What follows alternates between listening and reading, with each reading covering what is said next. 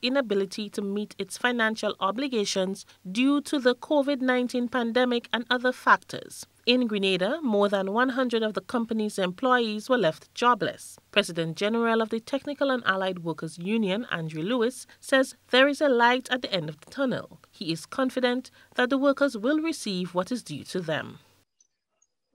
Discussions are underway as to the payment for the workers there are many different formulas that have been looked at, um, including um, potential investors in terms of liabilities. We have been constantly engaging the, the court administrator, um, appointed administrator. We have submitted in Grenada's case and the other union's case, the what is outstanding to the workers. So we have worked out the retrenchment, what is due in keeping with the collective agreement as to the last date of employment. The first phase of the new service will run from Monday of next week to December 13th. It will include stops in St. Kitts, St. Lucia, Barbados, Antigua, St. Vincent, and Grenada. Director of Flight Operations, Captain Arthur Seenhouse, in a recent ABS interview says data shows that there is still demand for LIAT service and the plan is to move people from as far north as Puerto Rico. They are some of our most profitable routes.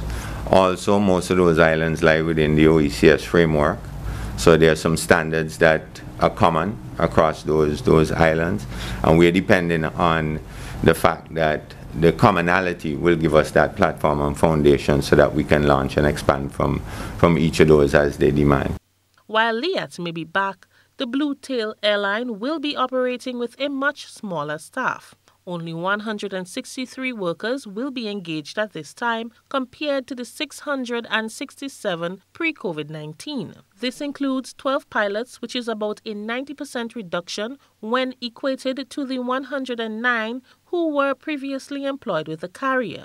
TAWU President Andre Lewis says the situation looks grim, but it is not hopeless. And then there's a group of workers who were never placed on, um, on layoff who continue to provide service um, for whatever um, transactions that had taken place and continue to take place.